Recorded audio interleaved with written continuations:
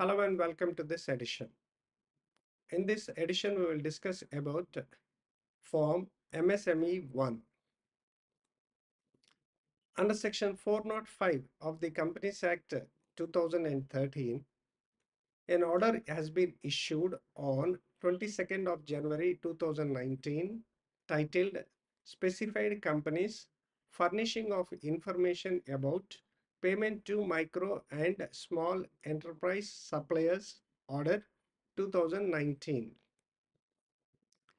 Under this order, specified companies have to file this Form MSME 1.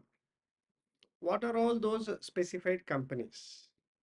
All the companies who get supplies of goods or services from micro and small enterprises and whose payments to such micro and small enterprises exceed 45 days from the date of acceptance or the date of deemed acceptance of such a supply of goods or services as per the provisions of section 9 of the MSMED Act 2006.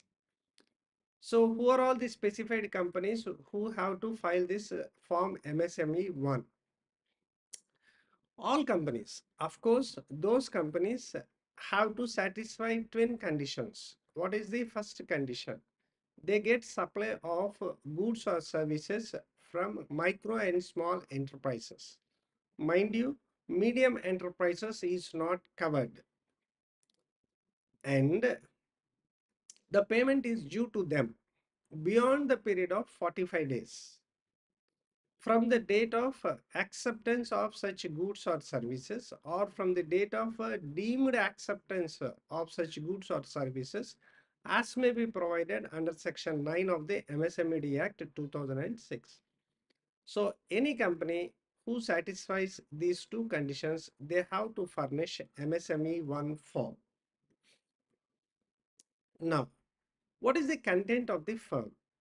The in the form the company the specified company has to give the details of the amount of payment due and also why there is a delay in payment to such micro and small enterprises.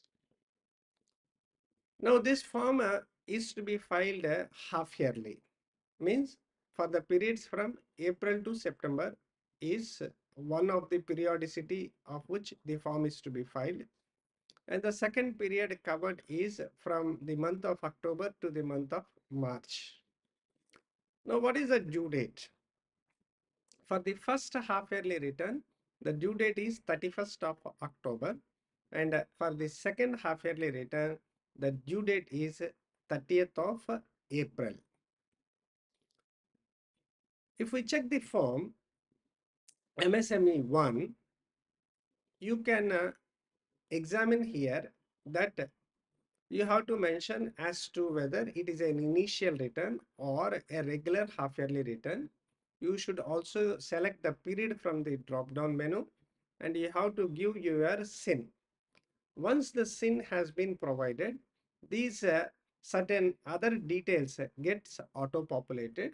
Of course, for a email ID, you have the option to edit the field.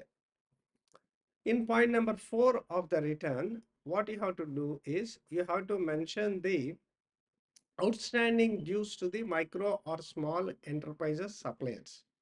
Here you have to mention the total outstanding amount and also you have to mention the number of entries which you are going to populate in this form. Means to how many suppliers a late payment has been done. The number is to be mentioned here in point number B once we give the number of number of uh, entities those many number of columns get generated in the form.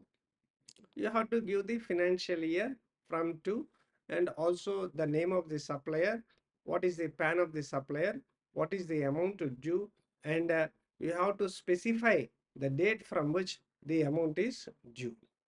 Once this is done for all those entities to whom the payment is due in the point number five of the form, you have to mention the reason for the delay in the amount of payments due. You have to mention the reasons for delay.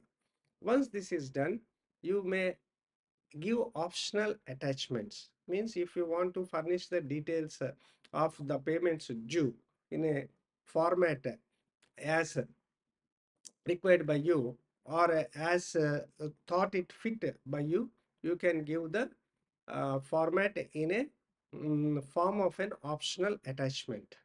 Thereafter a declaration has to be given that the contents are uh, uh, true uh, and correct to the best of uh, the person's knowledge.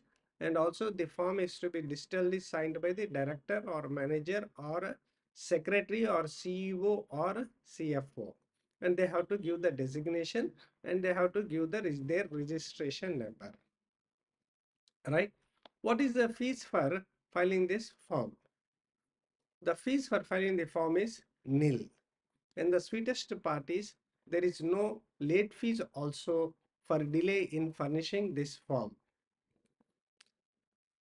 What is the processing type? The form once uploaded will be processed through STP mode means it is a straight through process mode. Thanks for watching. See you next time.